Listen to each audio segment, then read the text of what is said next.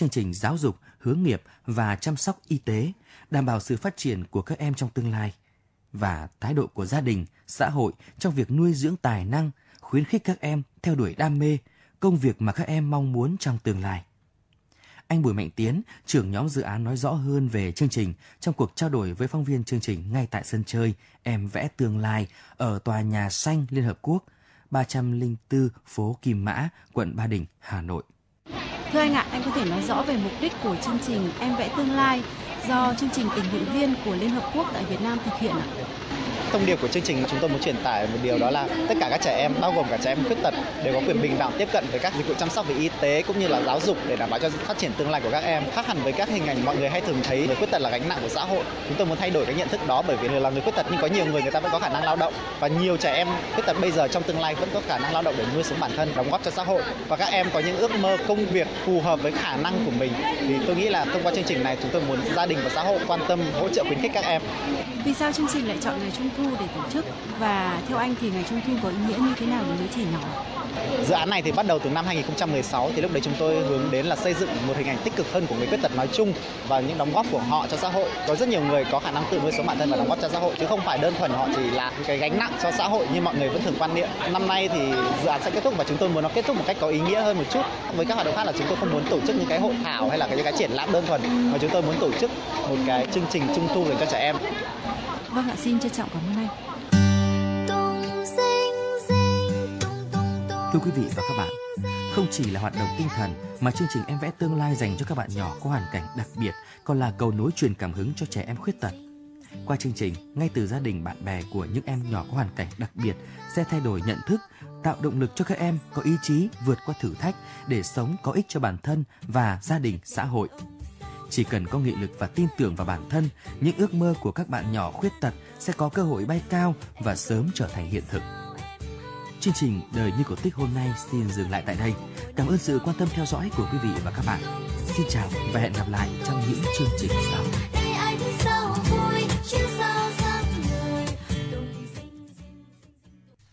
Đây là buổi phát thanh hướng dẫn học tiếng nước ngoài.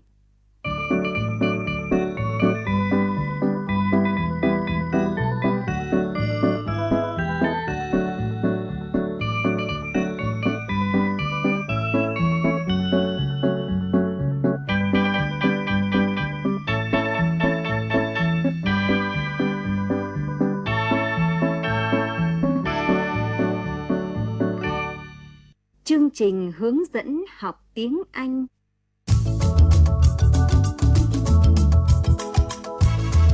Chương trình học tiếng Anh qua truyện đọc Learn English through stories.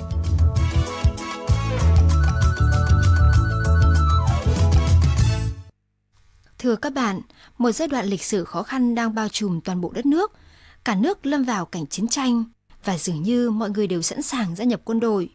100 năm về trước, cả một thế hệ đã hy sinh vì chiến tranh. Và 100 năm sau đó, ngôi trường Brookfield lại đưa tiễn những học sinh của mình ra chiến trường. Và rồi không hẹn ngày trở lại. Và một ngày, hiệu trưởng Chatteris tới nhà thầy Chip và có vẻ như thầy đang có rất nhiều tâm sự. Thầy Chip chưa bao giờ thấy thầy Chatteris lạ đến như vậy. Để hiểu được câu chuyện ngày hôm nay, các bạn cần nắm được những từ và nhóm từ sau đây. Join up. Gia nhập quân đội, nhập ngũ, Substitute. Người hoặc vật thay thế, Dreadful. đáng sợ, khủng khiếp, Poor. đổ, Go mad. nổi đóa, phát điên, hóa điên, Midnight. nửa đêm, Slacker. người lười biếng, người trốn việc, Stand something. chịu đựng cái gì, Breakdown. suy sụp tinh thần, Sympathize. thông cảm, đồng cảm, Equal to. đủ khả năng làm gì, Odd. lặt vặt, vụn vãnh, Success. người, vật thành công, Satisfaction. sự hài lòng. Một số hiện tượng ngữ pháp cần lưu ý trong phần này. So sánh giữa Above. Over. On. Above. Over. On. đều biểu thị vị trí, có nghĩa là ở trên, Above. biểu thị ở phía trên, Over. Biểu thị ở ngay phía trên, On. biểu thị ở trên bề mặt, đồng thời có tiếp xúc. Ví dụ, Seen from above, the house looks like a tiny red spot. Balloons are hung over the bridge. She put a vase on the table.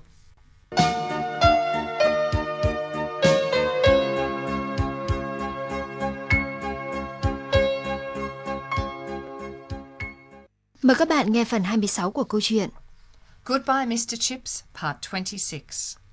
Hiệu trưởng Chatteris lại tiếp tục câu chuyện của mình. Thầy thấy đấy, hiệu trưởng Ruston đã khiến ngôi trường này đầy ắp những chàng trai trẻ. Tất nhiên là tất cả bọn họ đều rất tốt, nhưng giờ thì hầu như ai cũng đều gia nhập quân đội cả. You see how it is, Chatteris continued. Ralston filled the place up with young men. They were all very good, of course, but now most of them have joined up. Nhìn chung những cậu học sinh mới lại khá tệ. Trong trường tự học một buổi tối tuần trước, những cậu bé đã đổ mực vào cổ áo của một thầy giáo và anh chàng ngốc cách đó đã nổi đóa lên. The substitutes are pretty dreadful, on the whole. In prep one night last week, the boys poured ink down a man's neck, and the silly fool went mad. Kết quả là tôi phải trông chừng giờ tự học đó cho những anh chàng như vậy, thêm cả việc dạy những lớp của tôi nữa. Hàng ngày tôi phải làm việc tới tận nửa đêm. The result is I have to take prep for fools like that, as well as take my own classes. I have to work till midnight every night. Và trên hết, mọi người lảng tránh tôi bởi họ nghĩ rằng tôi là kẻ trốn tránh việc gia nhập quân đội. Then, on top of everything, people avoid me because they think I'm a slacker for not joining up. Tôi không thể chịu đựng được điều này thêm nữa. Nếu mọi việc không tiến triển vào kỳ học tới, thì tôi sẽ bị suy sụp tinh thần mất. I can't stand it much longer. If things don't improve next term, I shall have a breakdown. Tôi rất thông cảm với anh, thầy Chip nói. I do sympathize with you, Chip said. Tôi hy vọng là thầy thông cảm cho tôi, và chính điều đó đã đưa tôi tới đây để hỏi thầy. I hoped you would. And that brings me to what I came here to ask you. Nói ngắn gọn thì đề nghị của tôi là nếu thầy cảm thấy thầy có đủ khả năng làm việc này và thầy quan tâm thấy nó, thì thầy nghĩ sao về việc quay trở lại trường trong một khoảng thời gian ngắn? Briefly, my suggestion is that if you feel equal to it and would care to, how about coming back for a while? Thầy trông rất khỏe và tất nhiên thầy biết tất cả về ngôi trường. You look fit, and of course, you know everything about the school. Tôi không có ý rằng thầy cần phải làm rất nhiều những việc nặng nhọc, chỉ là một vài việc lặt vặt ở chỗ này chỗ nọ, tùy theo thầy lựa chọn. I don't mean that you will need to do a lot of hard work. Just a few odd jobs here and there, as you choose. Cái mà tôi muốn trên hết không phải là những việc thầy sẽ làm, mà là sự giúp đỡ của thầy bằng những cách khác. Bằng cách là chỉ việc đến trường mà thôi. What I'd like you for, more than anything else, is not for the work you do, but for your help in other ways. In just being here. Thầy biết đấy, không ai từng nổi tiếng hơn thầy, và tới giờ vẫn vậy. You see, nobody has ever been more popular than you were, and still are. Thầy sẽ giúp gắn kết mọi việc lại với nhau nếu như có bất cứ một mối nguy hiểm của vấn đề nghiêm trọng nào, và có thể lắm sẽ có một mối nguy hiểm như vậy. You'd help to hold things together if ever there was a danger of serious trouble. And perhaps there is that danger. Nín thở và với niềm vui trong tim, thầy Chip trả lời, tôi sẽ tới. Chips answered, breathlessly and with joy in his heart. I'll, I'll come. Thầy Chip tiếp tục sống ở nhà bà Wicked. Mỗi sáng khoảng 10 rưỡi, thầy mặc chiếc áo tròn vào và quàng khăn, băng qua đường để tới trường. Chips continued to live at Mrs. Wickett's. Every morning at about half past ten, he put on his coat and scarf and crossed the road to the school. Thầy cảm thấy rất khỏe và những công việc thầy phải làm chẳng nhàm chán chút nào. Thầy chỉ dạy một vài lớp tiếng Latin và lịch sử La Mã, những bài học cũ, thậm chí với cách phát âm cũ. He felt very fit, and the work he had to do was not tiring. He just took a few classes in Latin and Roman history. The old lessons. Even the old pronunciation. Thầy kể lại những câu chuyện cười về Lex Canulia. Có cả một thế hệ với những cậu bé chưa từng được nghe câu chuyện đó. Và như một đứa trẻ, thầy cảm thấy rất vui khi thấy bọn trẻ thích thú tới trường nào. He told the same joke about Lex Canulia. There was a new generation of boys who had not heard it. And he was childishly pleased by how much they enjoyed it. Thầy cảm thấy như một diễn viên già nua đang quay trở lại sân khấu sau một buổi biểu diễn cuối cùng. He felt rather like an old actor returning to the stage again after a last appearance. Mọi người nói rằng thật tuyệt vời làm sao khi thầy biết được tên và mặt của học sinh rất nhanh chóng. Everyone said how marvellous it was that he knew every boy's name and face so quickly. Họ không để ý rằng từ bên kia đường, thầy vẫn rất quan tâm tới ngôi trường đến thế nào. They did not realize how closely he had kept in touch from across the road. Nói chung thì thầy quả là một người rất thành công. Bằng một cách kỳ lạ nào đó, thầy đã giúp giải quyết mọi việc. Mọi người đều biết và cảm thấy điều đó. Altogether, he was a great success. In some strange way, he really did help things. Everyone knew it and felt it. Lần đầu tiên trong đời, thầy cảm thấy cần thiết, cần một thứ gì đó gần gũi với trái tim mình nhất. For the first time in his life, he felt necessary. And necessary to something that was nearest to his heart. Không có một sự hài lòng nào tuyệt vời hơn thế trên thế gian này và cuối cùng thì thầy cũng có được nó. There is no greater satisfaction in the world, and it was his at last.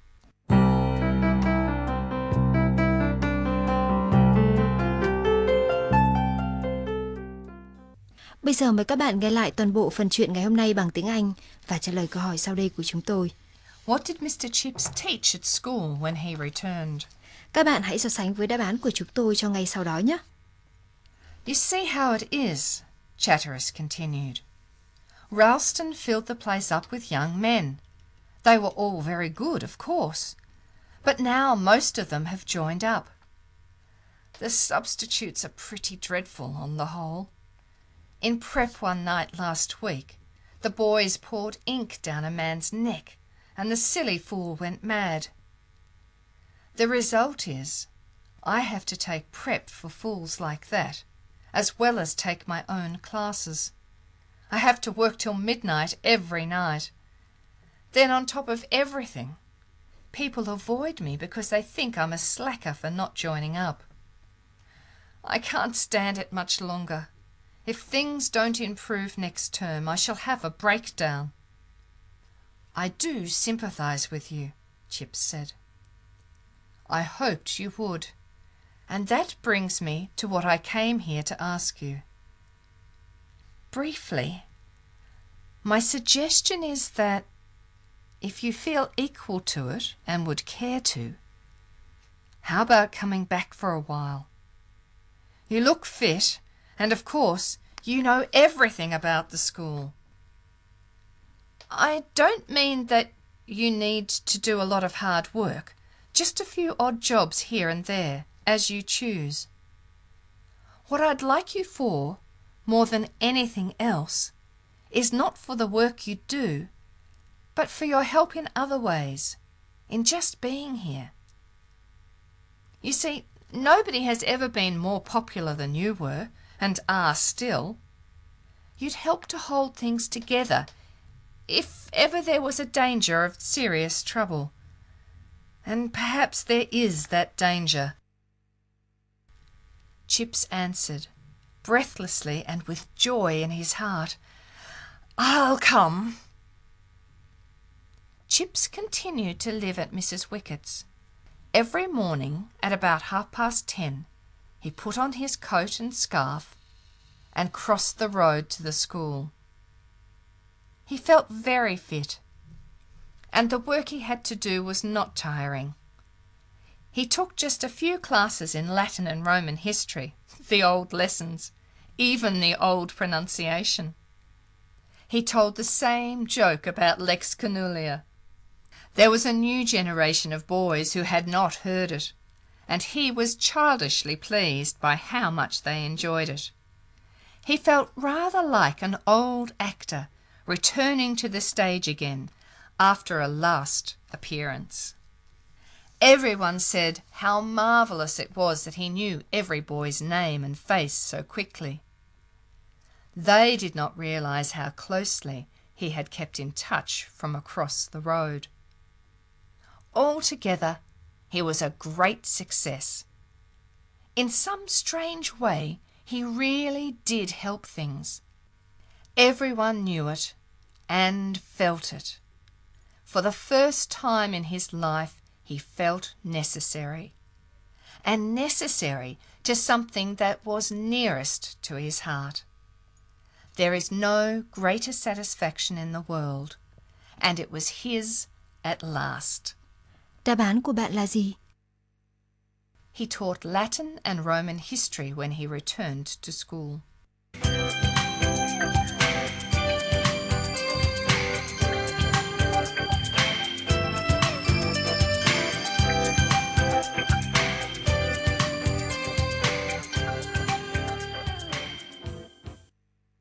Bài học của chúng ta hôm nay đến đây là hết. Xin hẹn gặp lại các bạn trong bài học lần sau.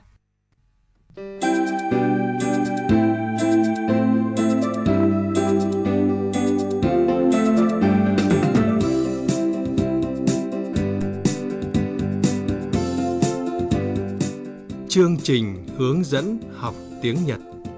Radio Nihongo Koza.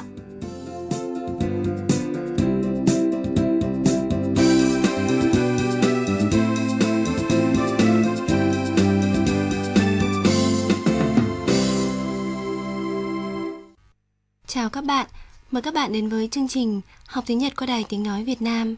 Trước hết, Chúng ta sẽ học bài 90 chương trình cùng nhau học tiếng Nhật phần 2 với mẫu câu cơ bản là không có gì, tôi cũng vậy.